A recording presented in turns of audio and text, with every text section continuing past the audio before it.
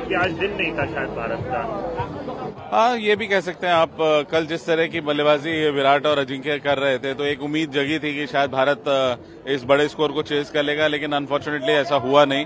विराट का विकेट गिरना एक बहुत बड़ी क्षति थी भारत के लिए, और वहाँ से उसके बाद फिर लगातार विकेट गिरते रहे बिल्कुल सर यहाँ पर लेकिन आप, आप बस मैं इतना बोलूँगा कि एज अ कोच आप उनको क्या सजेस्ट वो ऐसे बोलेंगे? क्योंकि अभी आगे भी और बहुत कुछ बाकी इस वर्ल्ड कप है।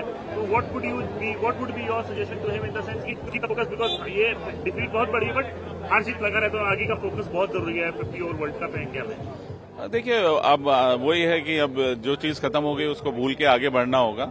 और भारतीय खिलाड़ी प्रोफेशनल हैं बीसीसीआई ज़रूर उनके प्रिपरेशन पे ध्यान रखेगी। एक अच्छा प्रिपरेशन होगा तो भारत वर्ल्ड कप में अच्छा करेगा, और मुझे पूरी आशा है कि ऐसा ही होने वाला है।